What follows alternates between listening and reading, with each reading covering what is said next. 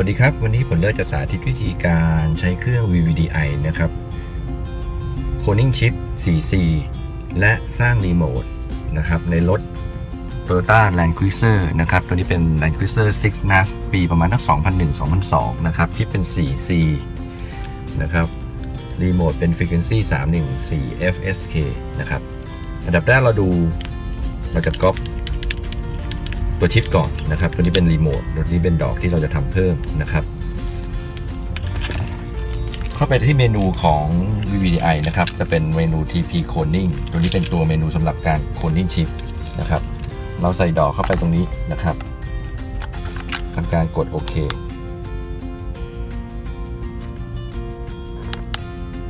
เครื่องบอกให้ใส่ดอกที่ที่จะoriginal นะครับ ไปยังช่องรับสัญญาณตรงนี้แล้วกดโอเคไป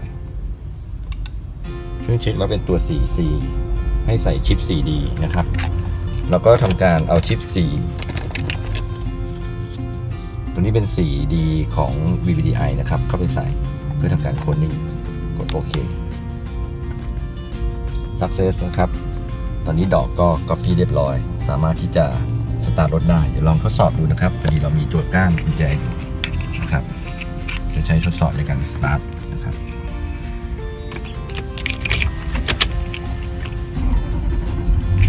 อยนะครับสตาร์ทติดอันนี้ชิปเรียบร้อยเลยครับง่ายๆนะครับด้วยเครื่อง VDI ต่อไปเราจะสร้างรีโมทนะครับ เรานำนำตัวรีโมทตระกูล X ของเครื่อง VVDI นะครับ ต่อสายนะครับ เรามาที่เมนู เราเช็คก่อนนะครับว่ารีโมทของลูกค้าเป็นไงใช้ Frequency Test นะครับ เราลองเอา original นะครับ ทดสอบกดตัวรับสัญญาณอยู่ตรงด้านบนนะครับ ดูคลื่นดูว่าเป็นยังไงว่าเป็นคลื่นรุ่นไหนนะครับนะครับอันนี้สัญญาณอาจจะอ่อนนิดนึงนะครับ กดบ่อยๆหน่อย มันเป็น 314 FSK นะครับ เห็นอยู่นะครับ ตัวนี้เป็น 314 FSK เป็นรุ่นเก่า เราก็หาครับทำการสร้างรีโมทมาที่เมนู Remote Prepare กดโอเค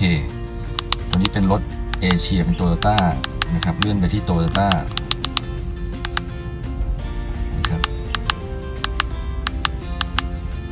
ตัวนี้น่าจะเป็นโตโยต้าเก่าตัวนี้นะครับ F O Toyota FS กดโอเคไปนะครับเป็นทรงสองปุ่มนะครับเหมือนกันนะครับเราทำการต่อสายนะครับ